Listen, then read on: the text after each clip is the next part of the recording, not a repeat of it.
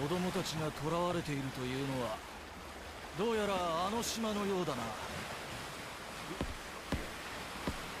いよいよか。やってやるよ。カイドウ。いささか拍子抜けだな。おい油断するなよ。相手はあの四皇だぞ。ああ分かってる。なるんだ。